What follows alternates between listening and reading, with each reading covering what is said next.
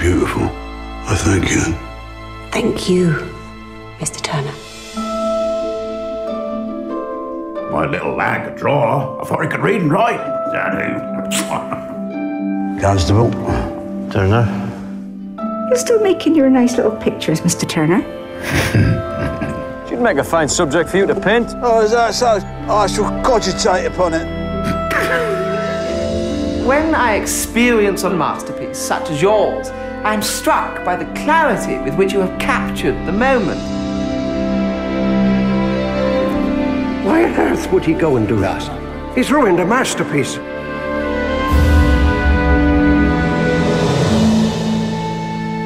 The boy.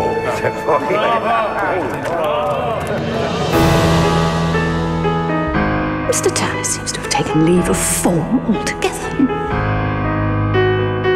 Turner. Clearly losing his eyesight. A masterpiece I here present, which Mr. Turner has just sent.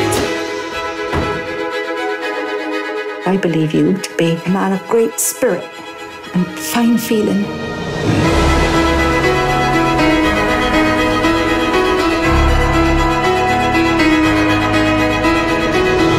The universe is chaotic, and you make us see it. You are a man of great vision, Mr. Turner.